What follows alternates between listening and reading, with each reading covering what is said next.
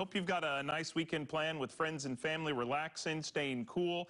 I mean, we did that a little bit this week. Tuesday and Wednesday, we stayed cool in the 80s. We did not today on the first day of July 94. So that's what we just lived through this week. Next week, you can see uh, no 80s, but also no 100s. We got a pretty solid week in the 90s, including on Monday for the 4th of July. Now, the showers and storms we had earlier today are history. We only have a 20% chance of rain tomorrow, but I am drawn to this little swirl down here off the coast of South Carolina, and so is the National Hurricane Center. They're saying this thing has a 20% chance of developing. And I don't think it's going to happen, but that doesn't really matter. This is one of those situations, whether it's a name or no name, it's lopsided, it's disorganized but it is going to bring a little bit of rain tomorrow to our coastline. I'll show you that in just a second. Here's our snapshot of what's coming our way Saturday, the 2nd of July. Again, could have a little bit of fog in the morning as we start off in the low 70s. Uh, also a small chance of rain, mainly south and east of the triangle, mid to late morning and maybe mid-afternoon. But notice the chances are only 10 and 20 percent, so it's not a significant amount of rain. Even if you do get some rain, it's not going to totally ruin or wash out your day. But it will be hot tomorrow as our high will be 92. And I'm sad to bring an end of this week of super sunsets from our coast, with the exception of the Mediterranean Sea earlier this week. I mean, we have had some great shots along the North Carolina coast. This one is back to Emerald Isle, where we were last night. Thanks to Sherry for capturing this great bit of orange, not only in the sky, but reflected in the water there.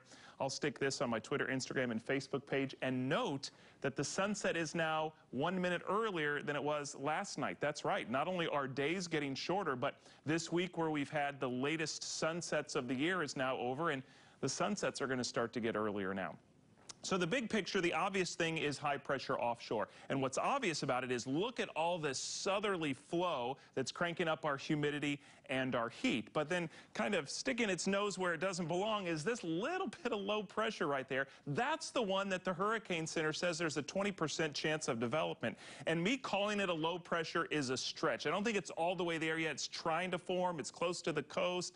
It's got some uh, problems it's going to run into. But either way, that's what's going to bring the coast a little bit of rain, and you can see that as we pick up Futurecast tomorrow morning. Lance will be in tomorrow morning, keeping an eye on this for you and updating you on the rain chances, but we'll watch central North Carolina. I know some of you headed to the coast. You might run into some rain, but never rains all day at the beach, and that's exactly what we're expecting tomorrow. So again, a few specks of green sliding in throughout the day tomorrow in our area, but I mentioned it's only a 20% chance. And then look, we get toward the second half of the day tomorrow, and it, it even dries out along the coast. So that's your Saturday forecast. Sunday brings our best chance of rain on the extended forecast, and it doesn't start to pop in until Sunday afternoon. You can see some scattered showers and thunderstorms. Again, not a washout, but our best chance of rain and a marginal risk of severe weather. Damaging wind could accompany some of the storms, so we'll keep an eye out for that. And goodbye, Bonnie. It finally formed earlier today, but tonight it made landfall in Central America. So we're on to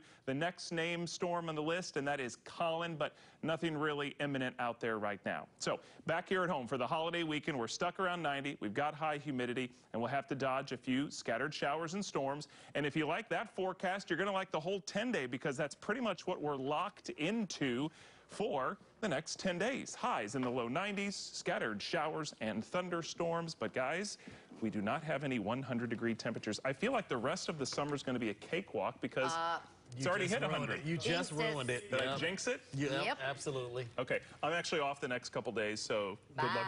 That's why you're going to spend $1,000 in gas. Friday. Ah.